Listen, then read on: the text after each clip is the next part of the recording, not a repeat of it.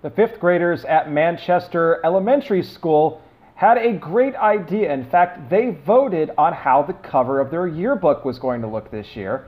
And on that yearbook, they wanted to have inspirational words in the form of crosses. That's right. Words like love, dream, faith, inspire, but they wanted to have them all in the form of a cross. Now, originally, the school went ahead with the idea and they went ahead and printed the yearbooks. However, before they could place them in the hands of the students, the school board took a more careful look at it and met with the parent teacher organization who actually oversees the yearbook, and they thought that it would be offensive towards other students, and they voted unanimously to change the cover. In fact, they scrubbed all of the religious references from the cover of the yearbook. The crosses were gone, the words were gone. The only thing that was left was the sky. That's right, the sky that the words in the form of the crosses were on was all that was left. The board said that this clearly violated the school's all student agenda and felt that it would offend some students that were not Christians. I, I just can't see how words in the shape of crosses could offend somebody. I, I really don't. Now, something else to keep in mind here about this school. This is the same school that back in December, the principal, who hates Christians, by the way, banned candy canes.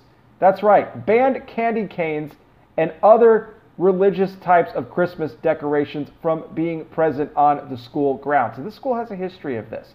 They do.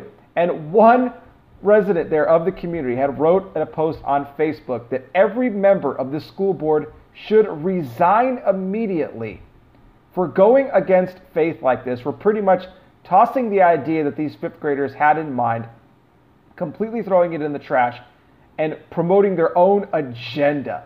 They called it a clear anti Christian agenda, and that they should all, they should all just resign. Go do something else because you're in no position to lead. You're just not. And we know that many of the schools are like this. I feel bad for all the kids. They worked hard on this. This was their idea. But the school said, no, words like faith in the form of a cross would just be way too offensive towards another student. We're in the last days. Jesus Christ is coming back soon. When is he coming back? I don't know, but we can see the day approaching, that's for sure.